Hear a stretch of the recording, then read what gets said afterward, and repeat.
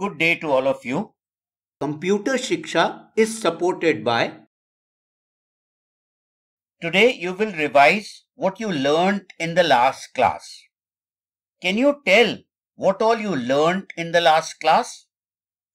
In the last class, you learned about some of the options of the view menu like normal, page break preview, toolbar, column and row header, sidebar, etc. You had also learned how you can hide or show these options and had also learned about some of the formulas. Can you tell what is the difference between normal and page break preview? In the normal view, you can see your entire sheet, whereas in the page break preview, you will be able to see only till the place you have typed and you will not see the entire sheet. Can you tell why we use the column and row header? With the help of the column and row header, you can know more about your columns and rows and you will be able to get the address of your cell. This tells you where your cursor currently is. All of you now switch on your computers and open your file using the new method being taught to you. Let us now learn to use the Windows shortcut command to open the spreadsheet. For this, you need to locate the Windows button on your keyboard and keep it pressed with your left hand. Next, press the R key once with your right hand. A box opens which is called the Run box. If you see that there is something written in it already, then use the backspace key to delete the same. Type S Office in that space without leaving any gaps. And then press the enter button. Or click on OK. A window opens. And you need to find the option for spreadsheet. And left click once on the same. This will open your spreadsheet file. Come, let us now know what you will learn today. You will first make a table and then in that table you will practice the use of formulas for sum, average, maximum or max and minimum or min. You will then revise some of the options of the view menu like page break preview, normal, toolbar, value highlighting, column and row header. Make a table like the one shown to you in the picture or make a table by yourself. Have you all been able to make the table? If not, then go ahead and complete it quickly. Now, all of you show how you will get the sum. If you are facing a problem in this, then watch the video and learn from it. Let us now practice once again how we apply the sum formula or do the addition. So firstly, we need to select the cell where you want the sum to appear or the result of addition to appear. So we click on the cell, it gets selected. This is where we want the sum to come. So for the sum formula, as you know, we have to type equal to and then you have to type SUM, then begin bracket which is shift and the 9 key, then select the numbers you want to total. So we want to total apples, oranges and grapes. So we select all of these then close the bracket with shift and 0 and press enter and you get the answer there for the total of apple, grapes and oranges. Now in F3 or for the B row, let's try to use the symbol of addition which is the plus sign. So in this case, all you have to do is use equal to and then select the numbers that you want to add and use a plus sign in between the numbers. So we have selected in the B row number of apples, then the plus sign from the keyboard like this, the grapes and oranges and then we just press enter and you will find the sum of the B row coming there. Now for the other rows, since we want to repeat the same formula, we just first click on the E3 row so that we can select that and then keeping our pointer on the dot, black dot when the plus sign appears, we just drag it down and you get all the sums of all the rows. So this is how you will be using sum or addition for numbers. Next, show how you will use the formula for average. If you have a doubt, learn from the video. In this video, we are going to practice and see how we get the average of numbers. So firstly, choose the column where you want the average to appear and in the title column or in the first row, let's type average because we want the averages to appear in the F column. Now select where the average should appear. So we have selected the F2 column to get the average of the first row or A row. For any formula, we have to start with equal to. So we type the equal to sign and then for average, we type A-V-E R-A-G-E average. Then begin the bracket with shift and 9. And now we are going to just take the total of the number which is already available to us and divide it by 3 because this is an average of 3 numbers and the total was for these 3 numbers. Close the bracket and then just press enter. So it will give you the sum total divided by the number of the items which was 3 and the average is given to you. Now in the next cell, let's use the formula itself. So we type equal to, then we type average, begin bracket, shift and 9, and then we select the numbers itself, the three numbers of which we want the average. Close the bracket and then just press enter. For closing the bracket, use shift and 0 key. Press enter and you get the average. Now you can select this cell once again and keep your pointer on the black dot and drag it downwards to get the average for all the other rows. This is how you will use the average formula for numbers on your sheet. Now use the max formula and show how you will find the maximum value for each row in your sheet. If you have a problem, then learn from the video. By watching this video, let us now see and practice how we use the maximum formula.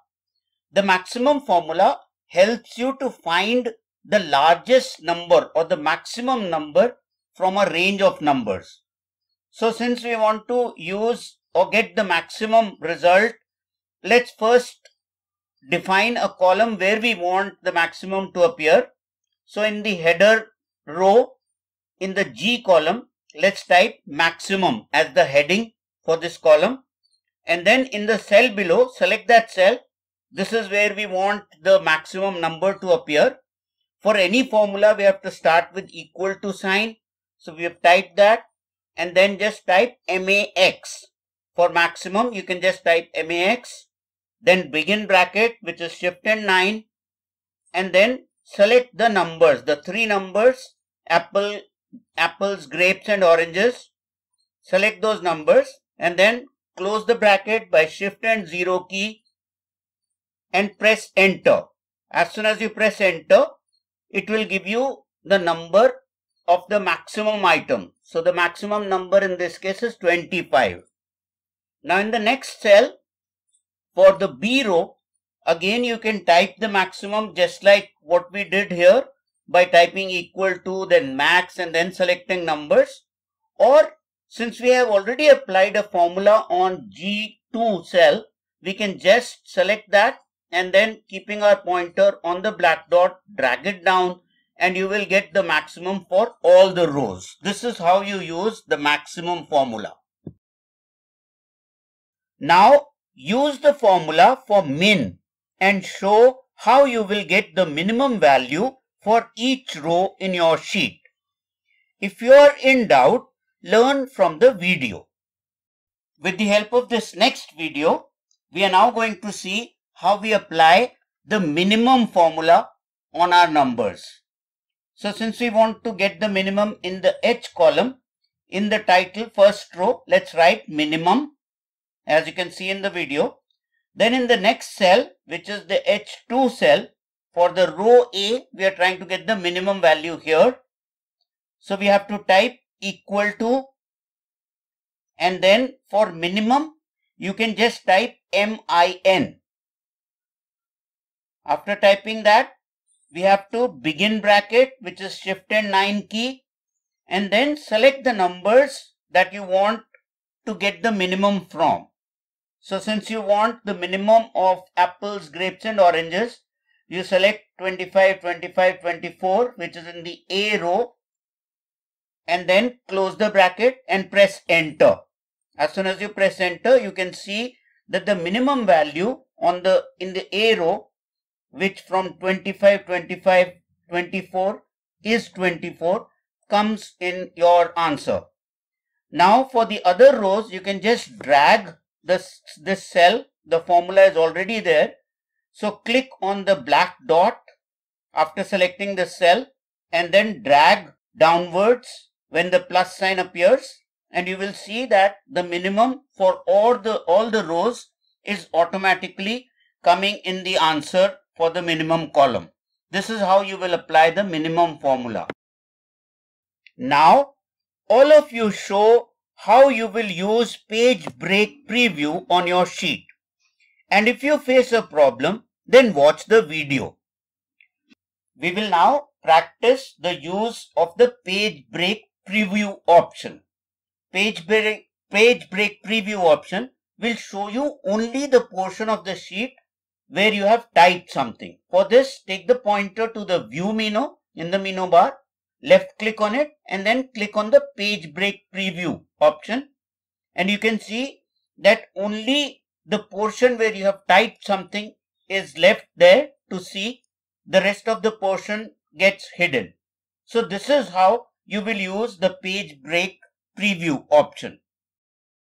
Now all of you show how you will hide the toolbar in case of any problem, watch the video and learn. In this video, we are going to practice hiding the various toolbars from our sheet. So to hide the toolbars, we have to take our pointer to the view menu, left click on that, bring your pointer to the toolbar option and you see many options available. Click on the find option and the find toolbar gets hidden. It's not shown now on your sheet. Once again, take the pointer to the view menu, left click on that, click on the toolbars option and from the options which are now shown, click on the formatting toolbar option or the formatting option. So once you click there, even the formatting toolbar gets hidden. Again bring your pointer to view toolbars and this time click on the standard option and the standard toolbar also gets hidden. One more time take your pointer to the view menu left click on that bring your pointer to toolbars and from the options which are shown, now click on the formula bar option. As soon as you click there, even the formula bar gets hidden. Next, show how you will remove the column and row header and in case you face a problem, learn from the video. Let us now see how we can hide the row and the column header also from our sheet. Right now we are seeing the print preview. We are seeing the page break preview and you can see the row and the column headers. To remove them, to hide them, we click on the view menu and then we click on the row column and row header option. As soon as you click on that, you will see that the column and the row headers get hidden and only the portion which is typed as the page break preview is visible to you. So this is how you can remove the row and column headers from your sheet. After this, show how you will get your sheet in normal view. If you have a problem, watch the video. Let us watch this video and once again practice the use of the normal option. Right now, the view that you see on your sheet is in page break preview view. If you want to bring it back to normal, take your pointer to the view menu, click on it with the left button and then click on the normal option. As soon as you click on the normal option, you will see that your sheet comes back to the normal view as it was earlier. So this is how you can bring back the sheet to normal from page break preview option. Now show how you will show the toolbar or bring it back. Watch the video if you need help. We will now practice how we can bring back or show all the toolbars once again. So as you can see right now in the video, the toolbars are hidden and they are not there. To show, bring the pointer to the view option, left click on it, bring your pointer to toolbars and from the options which are available, first let's click on formatting option. And you can see that as soon as you click, the formatting toolbar is shown on your sheet.